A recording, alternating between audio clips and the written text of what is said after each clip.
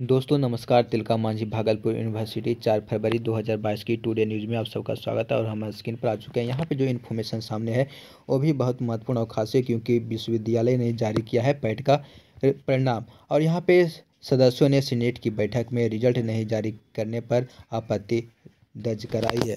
साथ ही साथ यहाँ पे आप देख पा रहे हैं एग्ज़ाम कंट्रोलर है। उन्होंने कहा है कि पैट का रिज़ल्ट जारी कर विश्वविद्यालय के वेबसाइट पर अपलोड कर दिया गया है। तो ये जो न्यूज़ है, ये भी खास और महत्वपूर्ण हो जाती है। दोस्तों, यहाँ पे थोड़ा जूम करता हूँ और आप साफ़ तौर पर देख पाएँगे तिलका मांझी भागलपुर यूनिवर्सिटी में बुधवार को हुए सीनेट की बैठक में सदस्यों ने पीएचडी एडमिशन टेस्ट यानी पैट दो हज़ार इक्कीस परीक्षा का रिज़ल्ट जारी करने में हो रही देरी को लेकर के आपत्ति जताई थी।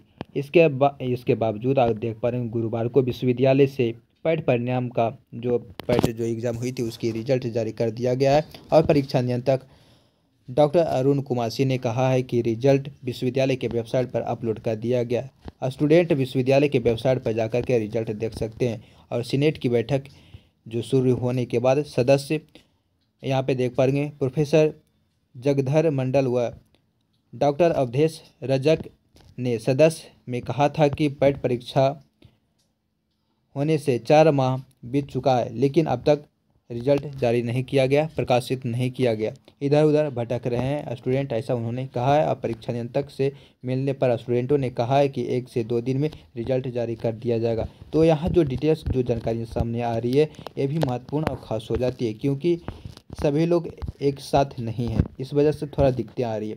नेक्स्ट आप देख पाएँगे मनोविज्ञान विषय के कई छात्रों को दूसरे पेपर में ज़ीरो से दस नंबर मिले हैं। तो यहाँ पे जो डिटेल्स है, ये भी महत्वपूर्ण है। तिलका मंच भागलपुर यूनिवर्सिटी में जारी पैट परीक्षा के परिणाम में गड़बड़ी को लेकर के आरोप भी लग रहा है स्टूडेंटों के द्वारा, जो कि कहा जा रहा है कि छात्रों को दूसरे पेपर में ज़ीरो से लेकर के सौ सॉरी दस नंबर तक अंक दिए गए हैं। तो यहाँ जो इन्फॉर्मेशन है ये भी महत्वपूर्ण है। और चलिए इसे थोड़ा सा मैं मार्किंग कर देता हूँ।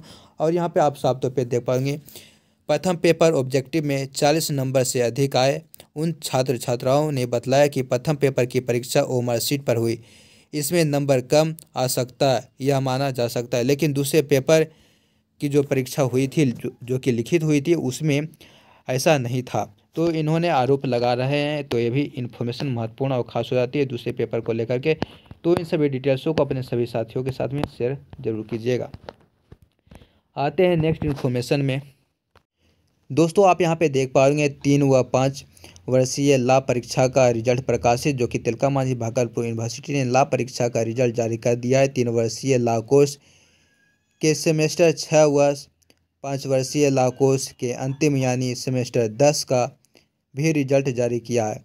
परीक्षा नियंत्रक डॉक्टर अरुण कुमार सिंह ने बताया कि रिज़ल्ट ला कॉलेज को भेज दिया गया है। शेष ला के सेमेस्टर के परीक्षा का रिज़ल्ट तैयार करने के लिए प्रक्रिया उसकी चल रही है। तो यह जो इन्फॉर्मेशन थी, ये भी महत्वपूर्ण और ख़ास थी।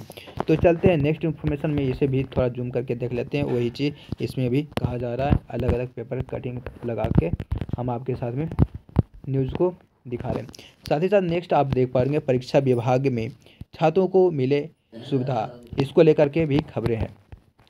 तो दोस्तों, यहाँ पे जैसे देख पा रहे छात्रों की नब्बे प्रतिशत समस्याओं का निराकरण परीक्षा विभाग के पास है। मगर Tilka Manjhi Bhagalpur university N E का परीक्षा विभाग काफ़ी लचर है। तो यह भी इन्फॉर्मेशन महत्वपूर्ण हो जाती है और स्टूडेंटों के लिए जो भी हो सके यूनिवर्सिटी को करना चाहिए। यहाँ पे कहा जा रहा है, सत्र 2020 से इक्कीस में चार करोड़ चवालीस लाख से जो राशि थी, सत्र दो हज़ार इक्कीस से बाईस में नौ करोड़ बिरासी लाख और सत्र दो हज़ार बाईस से तेईस में दस करोड़ अड़सठ लाख का आय परीक्षा विभाग से हुआ है।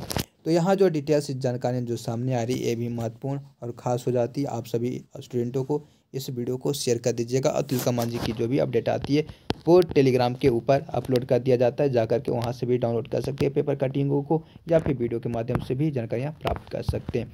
तो आज के डेट की जो भी अपडेट थी, हमने आपके साथ में साझा किया और यहाँ पे विश्वविद्यालय ने जारी किया पैट का परिणाम, जो कि इसके बारे में भी हम आपको बतला चुके हैं और जो विवाद है और जो कहा जा रहा है कि रिज़ल्ट में गड़बड़ियाँ हुई है, उसको लेकर के भी इस वीडियो में हमने चर्चा किए हैं। तो दोस्तों, आज की जो भी अपडेट थी, हमने आपके साथ में साझा किया।